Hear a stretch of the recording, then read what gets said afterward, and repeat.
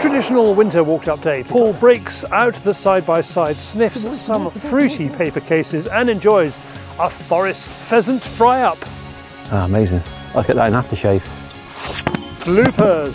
Lockdown made 2020 interesting, but we've still had lots of fun bringing you the best hunting and shooting. Airgun Evolution, our latest field tester show, is out now, celebrating ancient and modern. Oh, you useless man! The perfect stocking filler for the animal extremist in your life. We expose a Hunt Sab's terrorist handbook produced by British antis and now in the hands of the police. We have news, we have hunting YouTube. Welcome to Field Sports Britain.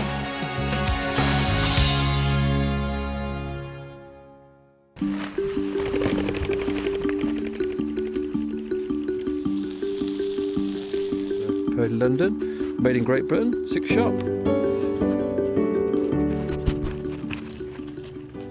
We're going to keep this really simple. AYA, side by side, random retro shells, a game bag, Duke the dog, and lots of walking. Yeah, this is a nostalgia day. yeah, basically, yeah. It's like the old days. So I used to do quite a lot when I was younger. I'd go up to Wales, woodcock shooting, grouse shooting. Um, and they had quite a lot of grouse there actually at the time. We'd, we'd go out and shoot, probably three of us would shoot 15, 20 in a day, walked up. Um, so yeah, it's, it's good. So what are we after?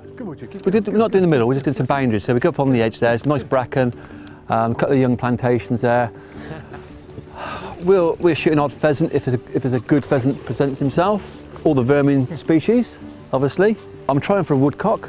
That's why I got the paper case cartridge. So that's what we used to do when I was younger. We used to go to Wales and walk up all these little small valleys with the bracken and uh, woodcock and snipe and then go back down to the estuary for some ducks. So uh, yeah, it's a bit of a reminisce of the old times.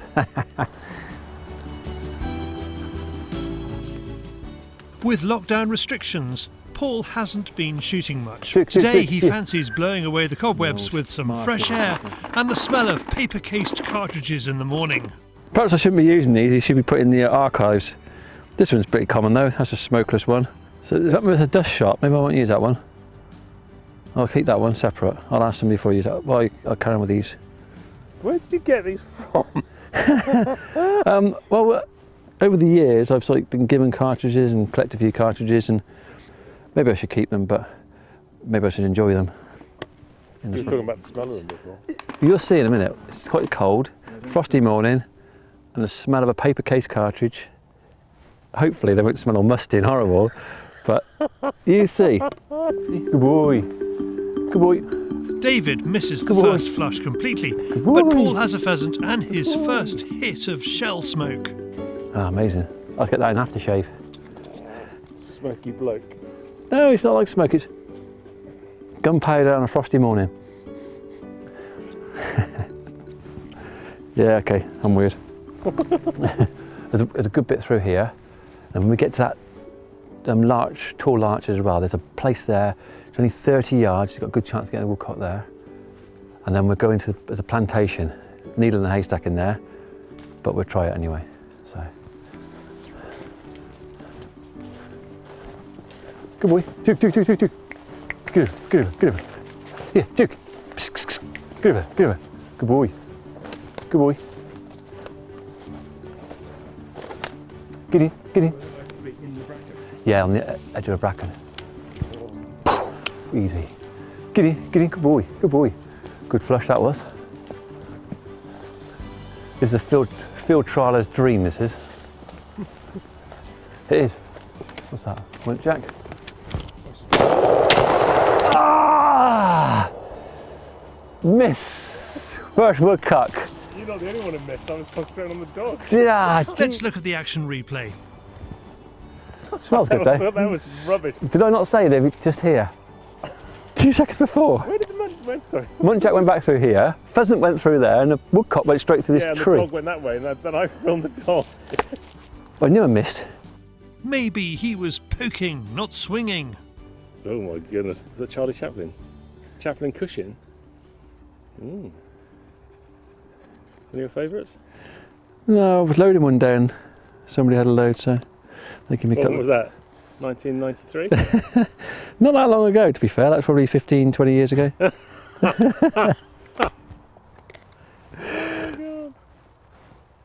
Come on, woodcock. Good boy. Oh yes, that's a practice. It's a practice. I don't need. Yeah, I could have had him, but he's. Uh... Good boy. Good boy. Exciting? Exciting. Don't want to carry. no, I don't. I've got a big old heavy Byzanti in here, so. Woodcock. Woodcock's next. Come on, Duke, find me woodcock.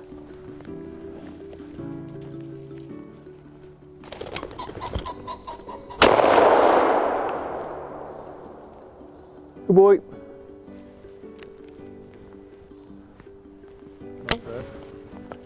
A good one. Oh.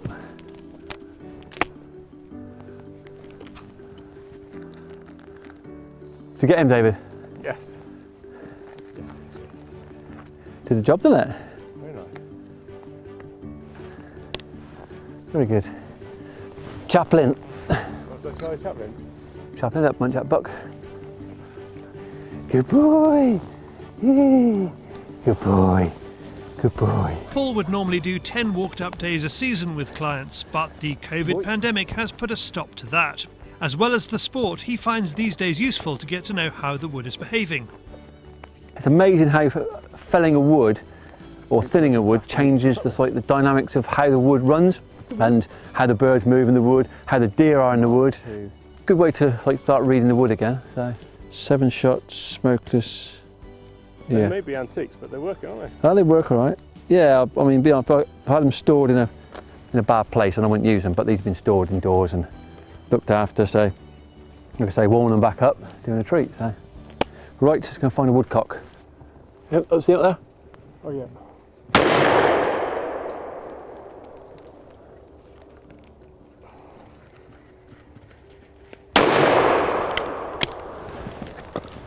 Good boy. Squidger. Yeah. Good boy. Young squirrel. Fillets there, David, for you. Too kind. I actually changed shells then. I changed to these. So these are the young bloods. These we've got from we've gone from antiques to These are still quite Spankers. quite retro though. Look at the old stamp on the end. Yeah. Eley Grand Prix, Mm. Eco Steel, 30 gram fours. They work, don't they? All this walking means we are building an appetite, and it is time for lunch. Paul has come prepared. So, David, um, how do you want your fillets? Do you want fillets at the back or do you want the uh, haunches Yeah, yeah, yeah. or pheasant? We'll have some pheasant actually, but ta-da! Oh, look at this! Oh, I Peter, Paul. found in my bag. Oh, some onions. Look at them. oh, look at that. We just foraged for those. Yes, and some little herbs down, some salt, and I didn't see us get that. that was yesterday's uh, hunt. Okay. Oh, my mouth is watering. Ah, you thought we'd have some dry oil sandwiches.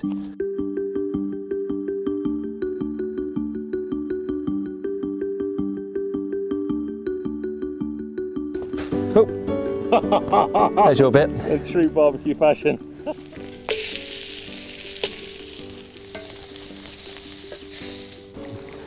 Cool, that is good.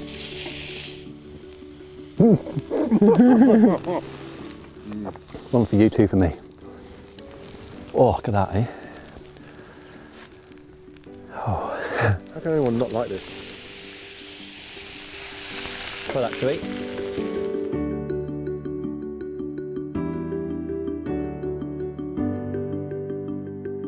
Where is he? Where is he? Where is he? Cool, good one. Here's two, look.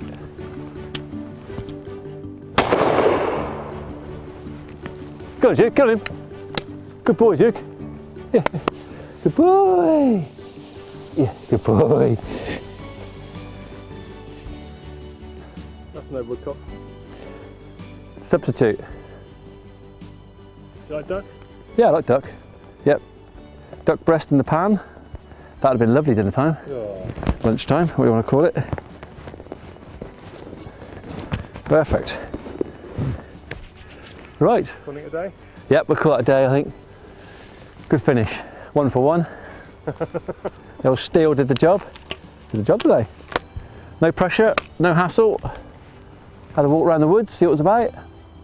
The elusive woodcock got away, which is good. That's what it's about, isn't it? It's not, you know, it's about having a bit of a challenge. Otherwise, hence we're using paper cartridges with an old side by side, which I ain't shot for a long time. So that's what makes it a challenge. So, oh, good fun. Right, let's head back. I'm actually going to head back out and uh, do a duck flight this evening. If you're interested in coming, no? Yeah, yeah. Get on, get on, get on, get on, no, come on, let's do it. Thank you, Paul. Very romantic. Now, if you want to find out more about the 65mm EcoWad steel shells designed by Eley for old shotguns, Tony Bromwich explains more on our sister channel, Field Tester. Field Tester is a hunting kit resource platform just for you, so please subscribe for all the latest reviews. When you're trying to get that all important cheek weld, In the last week, we've published films from the likes of Chef Mike Robinson on the gear he can't leave home without, and James Fowler from Ruag shows us the Bergara rifles he doesn't just sell, but owns and competes with too. Next year, this is going to be my go-to rifle, and we're going to win some medals. Right from fonts of knowledge to a fondant fancy, it's David on the Field Sports Channel News Stump.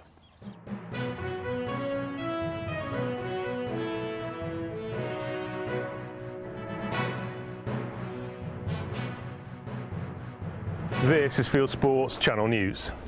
Countryside Alliance Chief Executive Tim Bonner has slammed UK council bans on trail hunting as sad.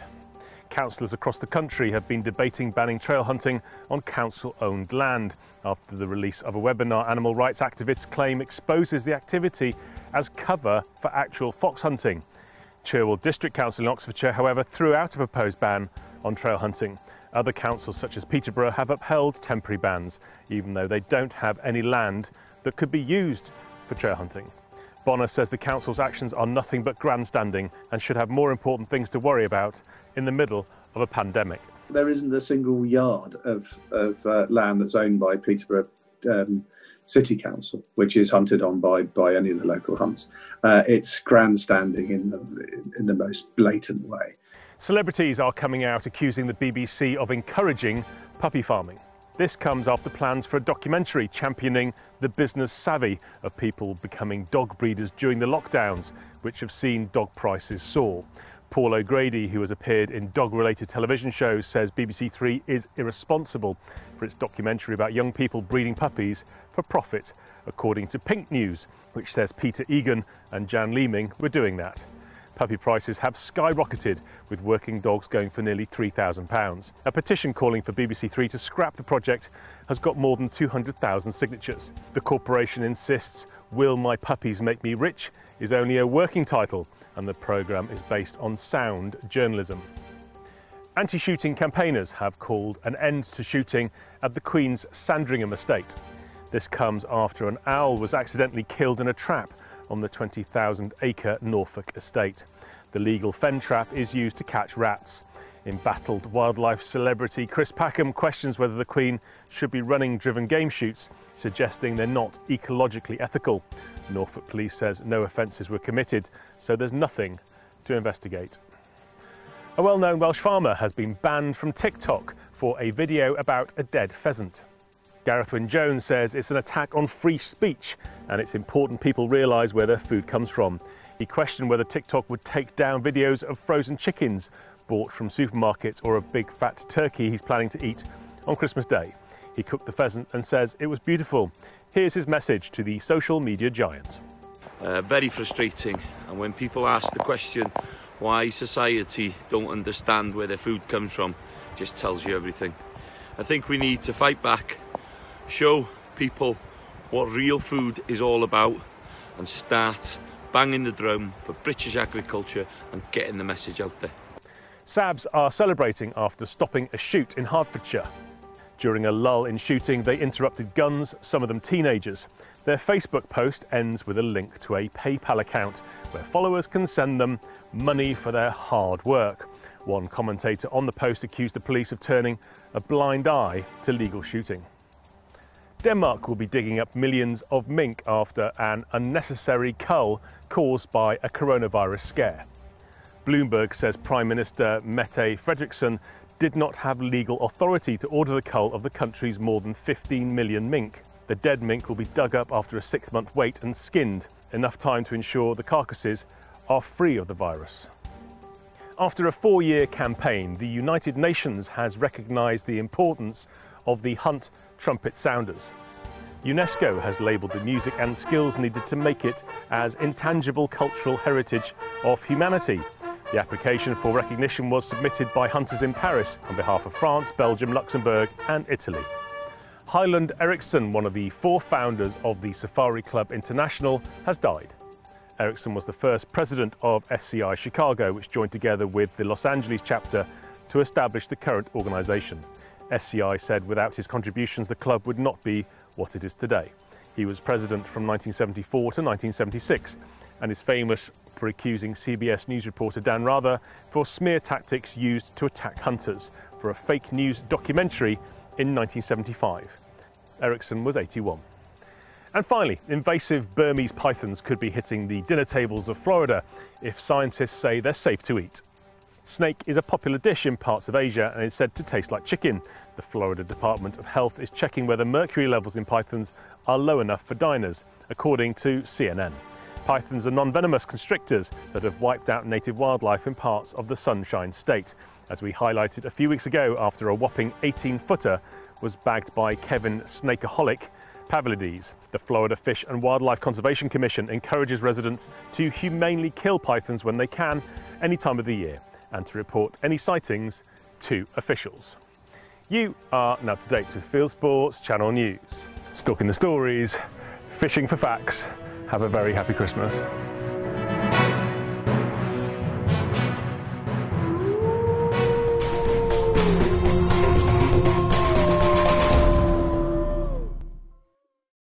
Thank you, David. Now, Mr. Wright is not just presenting news these days, he presents our Field Tester show too. As well as being a YouTube channel all by itself, Field Tester is a monthly TV show about the kit you use. This new one is all about air guns, from antiques to add-ons to pellet choice to the current laws about what you can shoot in your garden. It has a guide to last-minute stocking fillers for the shooter in your life. If you are the shooter in your life, send the link to Father Christmas. Of course, David's not as good as me, but Roy and Johnny Muston save the day. It's fun, so watch it. Talking of fun, here are some of the gaffs and giggles we've had in 2020. Ah, Ice cool as a cold. cucumber. Ice cold.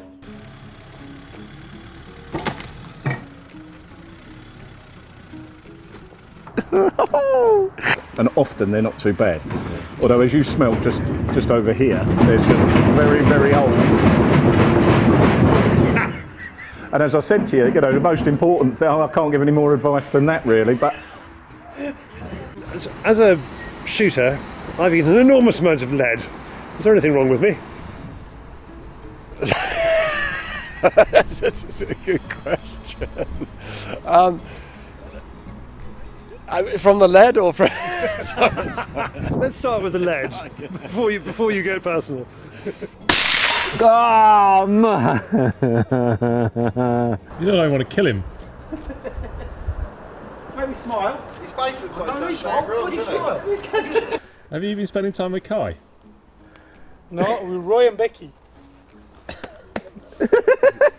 Put some effort into it. Oh my! Oh. no! you serious?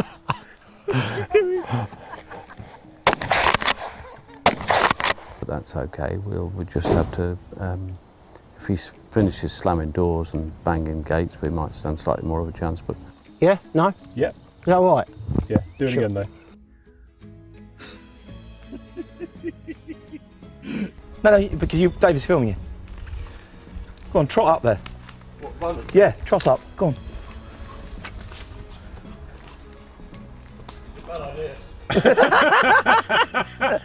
I hate to be youthful again. The smaller it is, the more you appreciate it. Sliced it up on top of some scrambled eggs. Is that your story for life? Having been in a sauna with you, I know that's not true. Can I see it? I didn't actually see it. Where is it? Ah. It's just like an extra piece of neoprene sticking out of your pants, of your bottom of the. Did the French have special sizes? Uh, yes.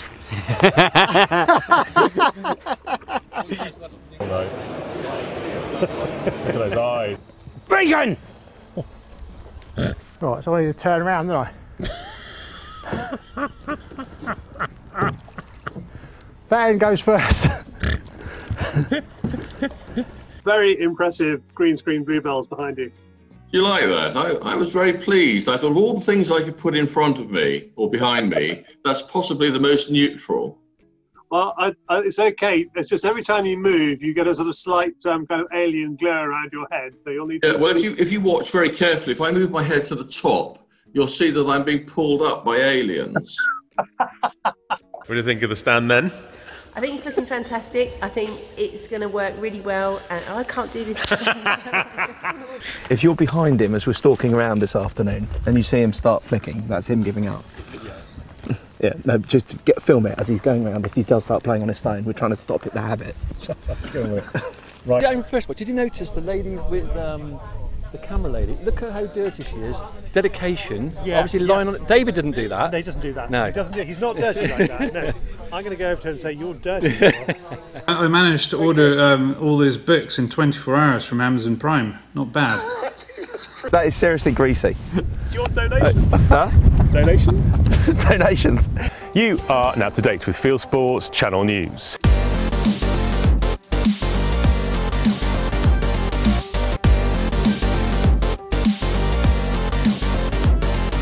Stalking the stories, fishing for facts. I'm not going to tell you what that reminds me of, but it's not purple. Because when you touch your tongue into the top of your mouth, you immediately stop breathing. And she called it, I think it was the golden touch. It's basically, you, it sounds. I bet, I bet it wasn't. I bet I've got it totally wrong. Hi David, hope you are doing well. David is not doing well anymore.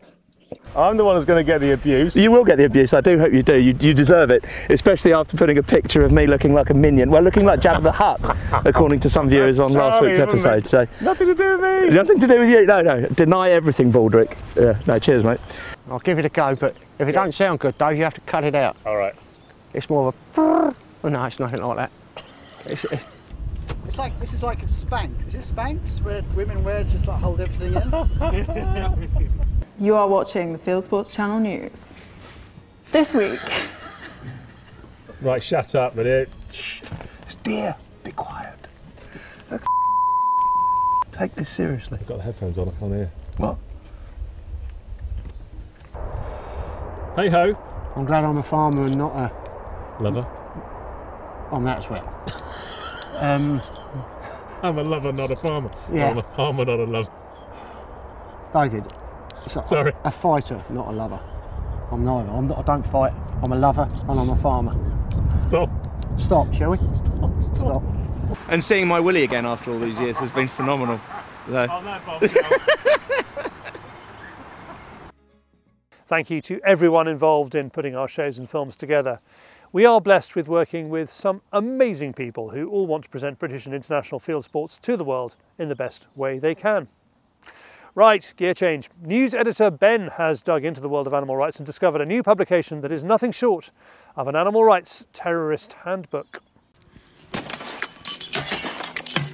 Animal rights extremists have been busy this year, smashing up butcher shops, destroying traps on estates, and persecuting gamekeepers until they quit.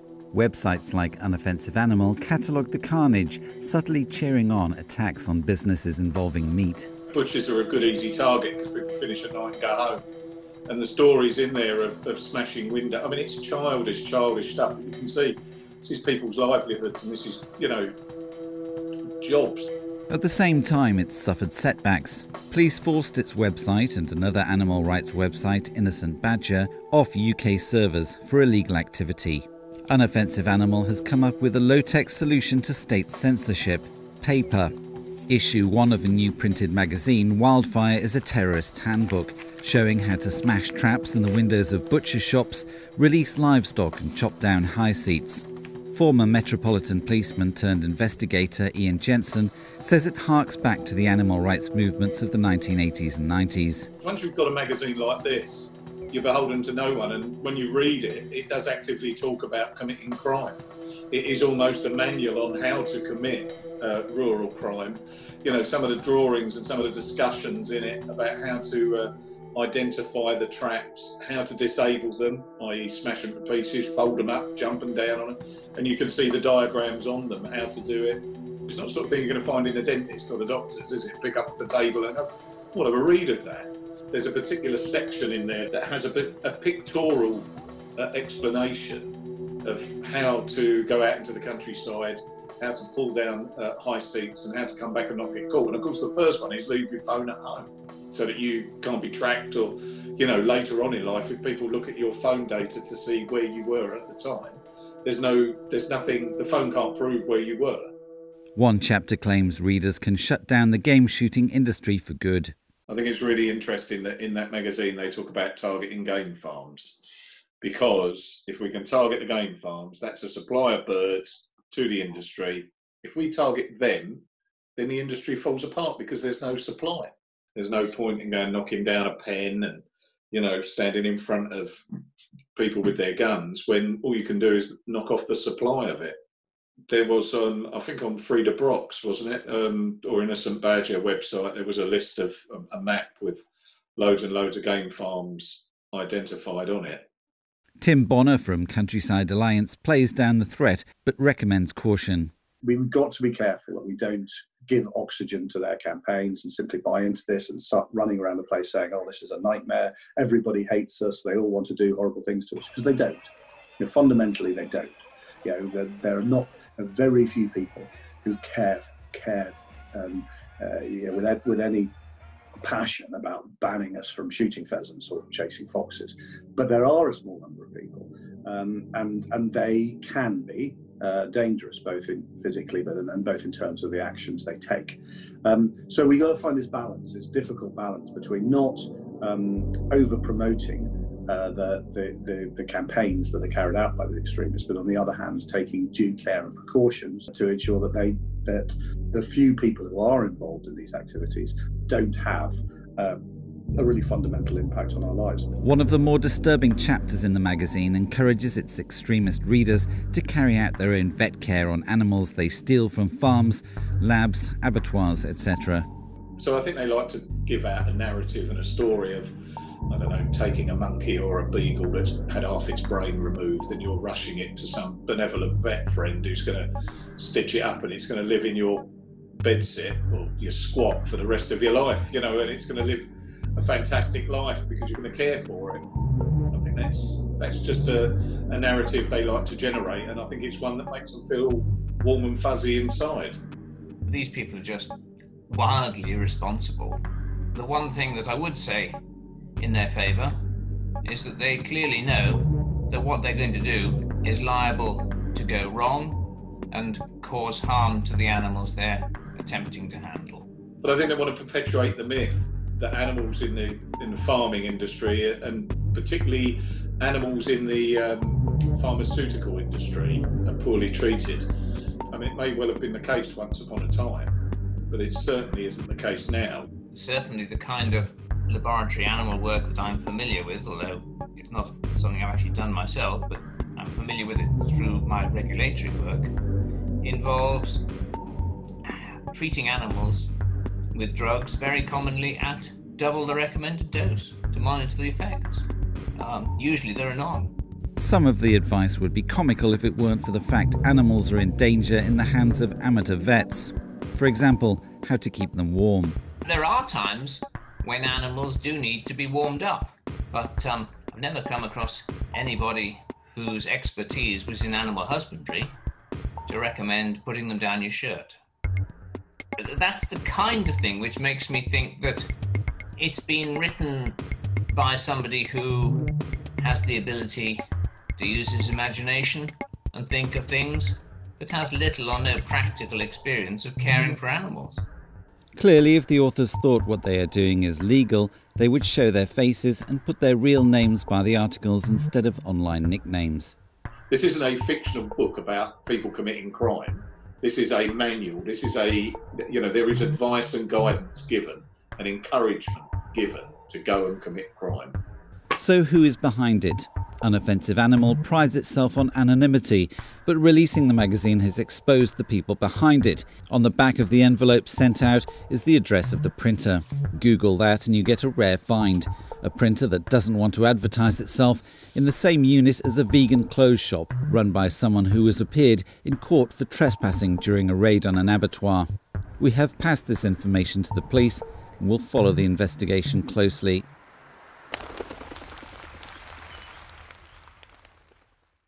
We will let you know how the police investigation into that goes. And we produced an annotated version of the PDF that we've given out to the Field Sports Nation, plus the media, MPs and the police for some light Christmas reading. Who are the Field Sports Nation? They are our happy band of now 800 supporters who back us with subscriptions and share purchases, and you can join them. The easiest way is to go to fieldsportschannel.tv slash offer. This week I'm delighted to welcome new supporters David Randall, Sarah Goody, Simon Beacom, Edward Walker and Chris Robinson who joined via the website and Grant Sims, Mike Dower, Dewey Benjamin, Chris R001, Keith Fell, Dave Howell, Jamie Bloomfield and Catty favourite Wayne Martin who joined on YouTube. Thank you to all of them. Now it's recipe time, a delicious winter warmer venison sausage rolls made by a man who has just started out in the world of game food. I've mixed the, uh, the venison and the beef fat up in here already. So to this we're going to add our game changer seasoning just in on top. I've had a nice little play around with either venison or, or pheasant. I like to add the beef fat to the venison because it just helps to sort of enhance that richness. But I use pork fat with, with pheasant. And then it's just a case of picking whatever flavours you like. I quite like an onion sort of base. You can use sort of some chutneys and things to put in there. Some homemade chutneys really go well. And mum's always proud when you use her chutney in something. We got a bit of Worcester sauce, which just sort of brings out the flavour and adds a bit more depth into it. And we probably, we've used about 20 ml of, of Worcester sauce, so it's not a lot, but just adds a bit. I didn't cook a lot when, with mum when I was younger, but it was when I got to university and had to cook for myself. And a friend and I were the only ones out of six of us in the house who had ever sort of cooked game before. So we thought, right, we'll, we'll introduce the other four to some game. Um, and within that season, we got 150 birds off the local shoot and just had a really good play around. I started making sausages, did some goujons, did some roast, just had a really good play around with it all. I just thought, why don't we do this on a bit of a bigger scale? So at the moment, I'm using egg as a binder. In our, all of our products, we use gluten-free rusk, which, again, just from experimenting and playing around, I realised doesn't change the taste at all, but obviously adds that gluten-free benefit. Just whilst you're at home, egg is a really good one just to nice and easy to use and a bit easier to get hold of, obviously. So it just helps to keep everything keep everything together and bind that fat to the to the meat. Obviously, venison being as lean as it, as it is, the egg just helps to hold that fat into the meat. When you first put that egg in, it's, it's sort of almost quite sloppy. So you want to mix it right in and you'll feel it start to bind together and almost start to stick to your hand. We haven't got any, any today, but um, a really nice touch is just to sort of smear some chutney onto the pastry beforehand and you get that sort of coating, outer coating of chutney. But we're just gonna grab a load of this, roll it up in our hands and just place this one in the middle of the pastry there. If you make it too thick, it becomes quite hard to roll. Roll and just press it all together. Uh, this is just the Just Roll pastry that you get in any real supermarket. I mean, I think it's absolutely perfect for doing anything at home. Um, puff pastry works really well with sausage roll because obviously when it's in the oven, the meat expands slightly and the sort of the puff pastry just sort of holds it all in. So, bit of egg wash on the side that you're going to fold over, which just helps it stick together. Just a light coating down the top of the meat. And this is sort of easier with, um, with cold pastry because it doesn't quite sort of stretch too much. We're just going to pick it up quite simply, roll it over the top. Yeah, so we're stretching the edges and we're just going to use the end of the fork just to sort of crimp the edges there. Then all we're going to do is finish it off with a bit of egg wash on top. There we go.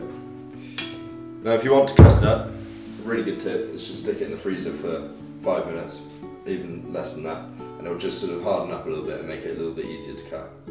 Put them in the oven at 180 degrees for 25 minutes or until they are golden brown. And while they cook, Jack explains a bit more about the business he started this year, the Exmoor Game Company, which supplies pies, cooked game meats, and of course, game meat sausage rolls. I wanted to try something a bit different um, and, and not follow the rest of my peers to London and everything. Um, I love the countryside, I love being out here. Um, and yeah, more misty mornings like this, it's just it's lovely to be out and about. And so I wanted to bring that into something I was passionate about. Our sort of mission statement and, and ethos is really, like a lot of people have said, make game more accessible and affordable. But I think we're approaching it from a slightly different area. We're much more focusing on social media, and uh, when we can, get out there and, and, talk to as many people as possible. Um, with a focus on primarily accessible products, sausages, burgers, sausage rolls. So we've been hugely surprised at the sort of uptake of it. Our sort of biggest following at the moment on Instagram is actually the younger generation, which is, is brilliant. But we've got, yeah, all sorts from, from shoots to people trying game for the first time to sort of the 16 to 25 year old market. I think we had two orders go out to the University of Bristol this week, so that was absolutely thrilling. For more about Jack's products, visit the exmoorgamecompany.com. If you want to buy Jack's sausage rolls, you can go along to his website. Now, from a misty morning on a shoot in Somerset to the wider world of hunting and shooting on YouTube, it is Hunting YouTube.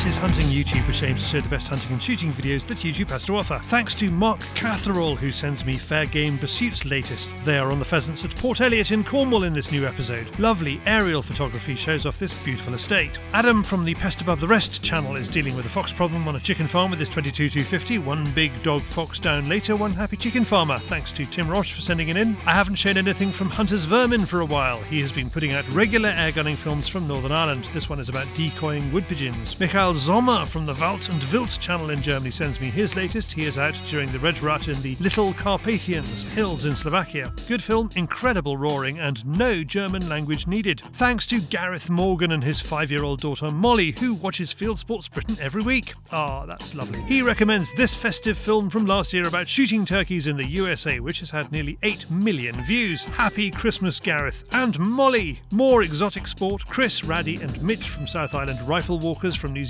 are on a 10 day trip to Stewart Island for both deer hunting and diving. Here's the Australian deer problem. National broadcaster ABC Australia makes this film called Meet the Ferals. There are no native deer down under, and here is how each state is gradually moving the animals from a game resource to being a pest. And finally, our video a couple of weeks ago with Wayne Martin showing a stunning shot on a squirrel attracted attention from YouTube's Catty Gang. Among them is the man behind this Australian channel, Mr. Slingshot Obsession. That's it for this week. I have put all these films into a playlist for you click on the eye symbol top right or check this film's description. If you have a YouTube film you would like us to pop into the weekly top 8, email me the link charlie at fieldsportschannel.tv. And that's it for this week. If you haven't done so already, please pop over to our website, fieldsportschannel.tv. You can click like us on Facebook and on Instagram. You can follow us on Twitter, subscribe to us on YouTube, and best of all, pop your email address into our register page and we'll contact you about this show, Field Sports Britain, which is at 7pm UK time every Wednesday. And this has been Field Sports Britain. Good hunting, good shooting, good fishing and happy Christmas.